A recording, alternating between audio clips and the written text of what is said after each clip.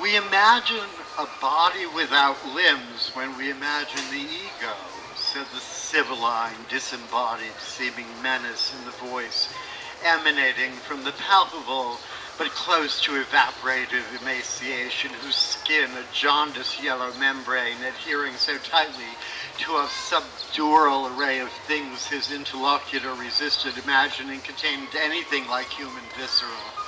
A single hit or miss assault with a can of spray paint could just as easily serve to restrain whatever lurked in the thing's innards from seepage or prevent the stuff's sudden explosion out of the insidious doctor's unconvincingly humanoid body.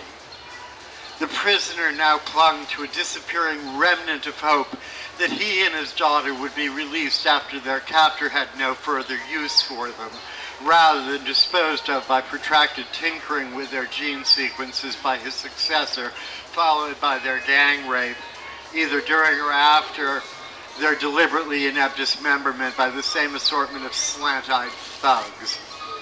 Kenjay no longer deflected such ethnophobic thoughts when they passed through his reptilian brain synapses.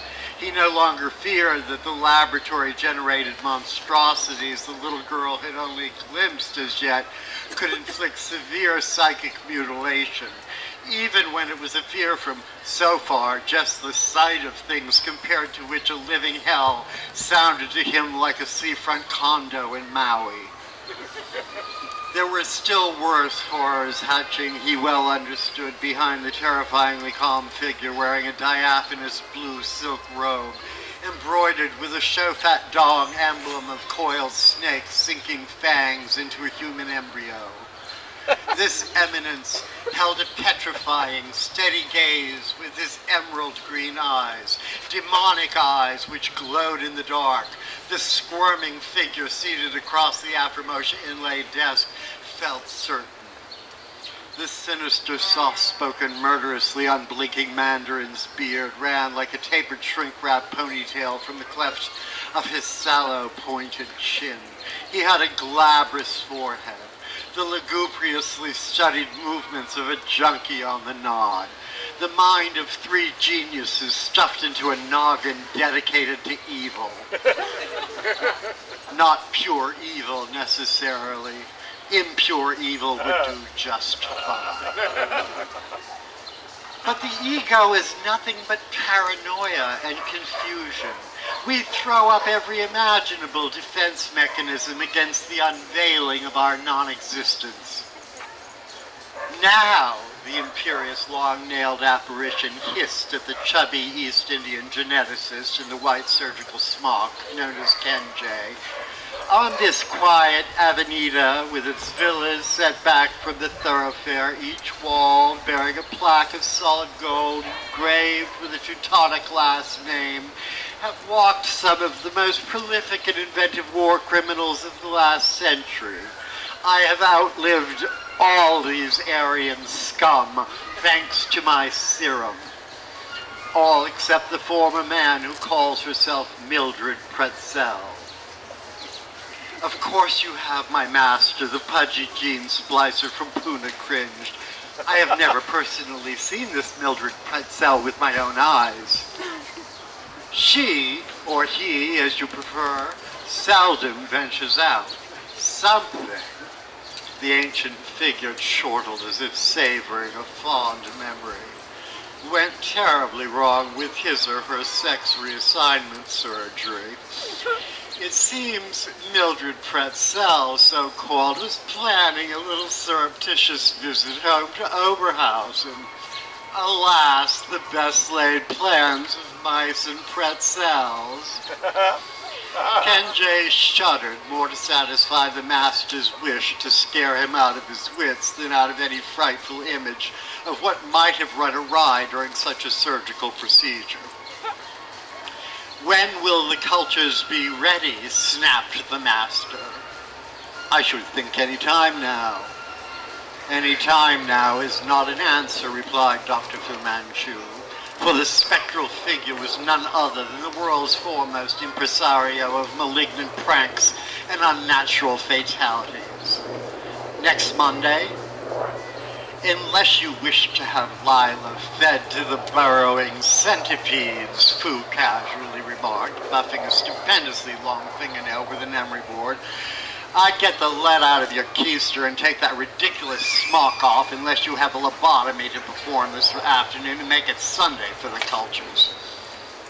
Please, all-seeing, all-knowing, all-singing, all-dancing, master of the universe, I beg you, not the burrowing centipedes, even if I should fail. Kenjay dropped to the Amritsar carpet in a persiflage of groveling admiration for the maniacal savant who controlled him and used his expertise for the manufacture of hideous insects, loathsome viruses. Feed me to the centipedes if you must, I beg you, but spare my daughter the indignity and agony of insect death. Fu rose and paced in his gliding manner, his face a mask of inscrutable malevolence. I'm not without a sense of mercy, he finally crooned. Should you fail, considering what is at stake, I shall allow you the experience of the exquisite torture of the burrowing centipedes despite the deficient nourishment you would provide with your excessive body fat. Perhaps Lila instead will receive the Zayat kiss. Do not ask me what it is, for I do not know. but I can summon it with a snap of my fingers. And don't imagine I cannot snap my fingers because of my long nails. You'd be very much mistaken. It's an acquired skill.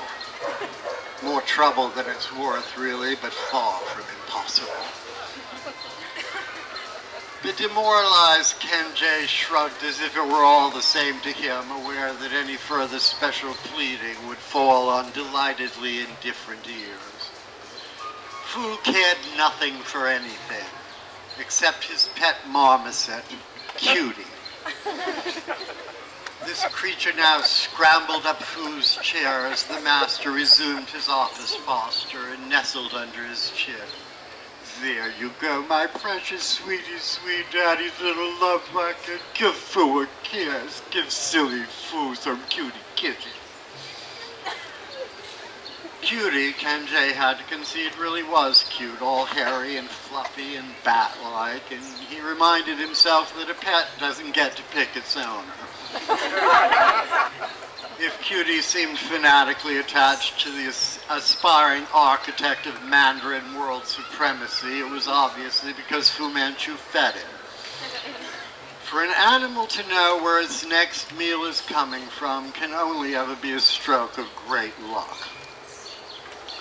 Fu Manchu was too much a chip off the old Nosferatu block to let things alone, and trained his adorable mammal companion to bare its razory fangs and fling itself violently back and forth in its cage when Cutie was in his cage, if any other human being offered Cutie a snack.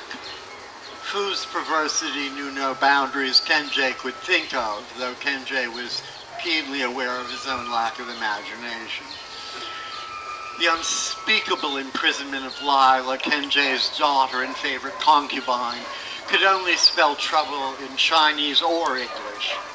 The burrowing centipedes, the Zayat kiss, none of these diabolisms worried the geneticists nearly as much as the possibility that Fu Manchu who, thanks to his longevity serum, could not have been a day younger than 140, still had the eager libido of a 90-year-old.